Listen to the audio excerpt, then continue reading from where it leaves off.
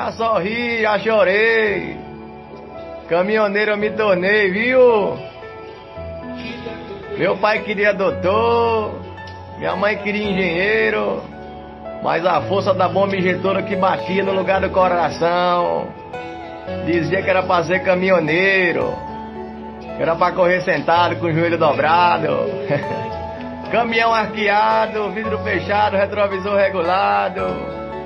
E o couro ia comendo, o cargueiro correspondendo. Tá o pai de bonita forma ali nas madrugadas, né, cara? Capa 10 ligando, o somzinho, o caminhão ia tocando. Bandeira do GP do lado representando. Aí a boca ficava boa de luxo. Eita! Desse jeito, desse modelo aí, tá bom, rapaz? Entregava as cargas no horário combinado ali. Descarregava, carregava de novo e carregava novamente. Deixava preocupado os parentes. Duas pilas na mente para não dormir eternamente.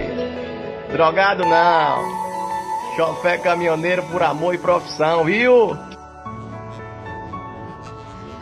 Com certeza aí, é nós aí transportando o progresso desse país, sendo humilhado, pisado, chicoteado, mas com certeza pelos, pelas crianças ali, né? Sendo admirado. sendo bem falado, mal falado, não importa. O que importa é que nós bota pressão nós amamos essa profissão, né? Fala comigo aí, ó. Chofer de caminhão. Esse caminhoneiro é um dia ter sido flogueiro, Indo na pista, tirar foto como se caminhoneiro fosse um artista. Realmente talvez seja um artista sem valor. Mas eu quero ser caminhoneiro, falou? Piloto jovem, carga de horário. 30 dias longe de casa, já dizia o calendário. A família no pensamento, eu chorando por dentro. Chorando feliz por fazer o que eu sempre quis. Dia eu quero ver todos vocês no comboio louco de um 18.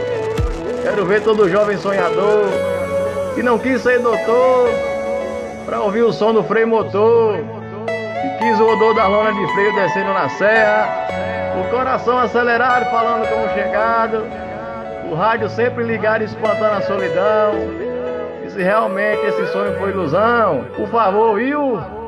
Não desista não, porque eu desejo de fundo do coração ver cada um de vocês em um caminhão. Falou! Aquela proteção e receba meu abraço que eu mando através do eco do vento e do meu pensamento.